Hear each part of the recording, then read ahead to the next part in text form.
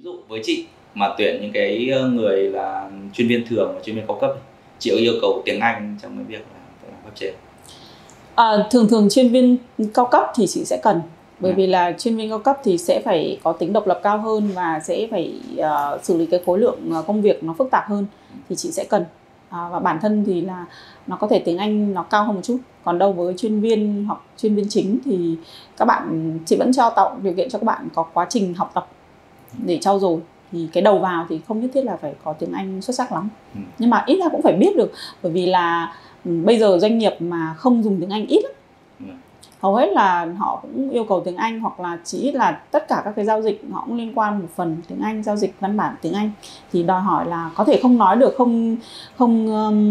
ờ, không trao đổi đàm phán được hợp đồng thì ít nhất là cũng phải đọc được và hiểu được tiếng Anh để mà có thể biết được giả Thế để giả soát hợp đồng thế thì thông thường cái trình độ đánh giá là bao nhiêu TOEIC hoặc là nếu mà TOEIC thì rơi vào khoảng trên 600 là có thể sử dụng được thôi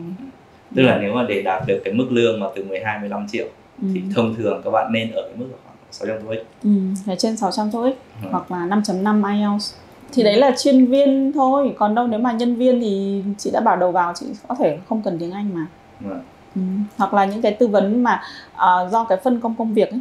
trong tổ chức pháp chế của chị chị phân công công việc mà bạn nào mà chỉ có nghiên cứu luật Việt Nam hoặc là chỉ có tư vấn thuần các cái đơn vị ờ, nội bộ và trong nước Ừ. thì có thể là sẽ không cần tiếng Anh ngay thì vẫn cho các bạn mà bạn có các cái các cái tố chất hoặc là các cái kỹ năng cần thiết thì chị vẫn tuyển